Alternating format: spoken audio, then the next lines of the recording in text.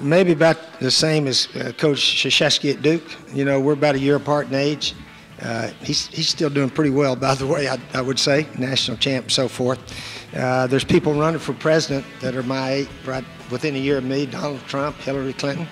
Uh, somebody told me the other day that I was the youngest coach in the SEC who's won four straight bowl games.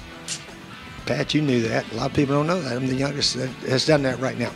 So anyway, uh, but that's something for the critics to talk about when you don't go 11 and 2. Well, let's see, how can I criticize South Carolina? And that's what they get paid to do. Uh, so I, have got to learn to accept it. Uh, but I feel good. I feel good where our team is. Uh, I feel like I got a lot of years left. Uh, Jon Hoke's a proven coach. Uh, we got a lot of good players. Uh, we're, we're, we're, fired up. We, we think we're going to make some real good strides this year.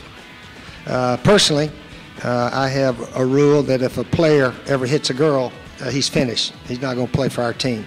I've lost two players at South Carolina that way. Fortunately, none of them were star players, and uh, it didn't hit the paper much, but they moved on. They were out of there.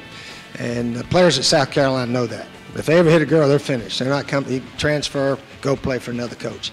So we have that rule, and uh, I think having the rule and enforcing it has, uh, has helped us a lot in that area. In college, you don't need that franchise quarterback like the pro teams. The pro teams, uh, almost all of them zip through the playoffs. They got the guy that's been there a long time and uh, what they call their franchise quarterbacks. But in college, uh, you can win uh, without maybe a, a, a top-notch uh, guy completely. Uh, but you have to have good play, obviously, and uh, guy has to take care of the ball, uh, be a pretty good passer, pretty good runner. Uh, but if he plays with a real good team around him, uh, he's got a chance to look good.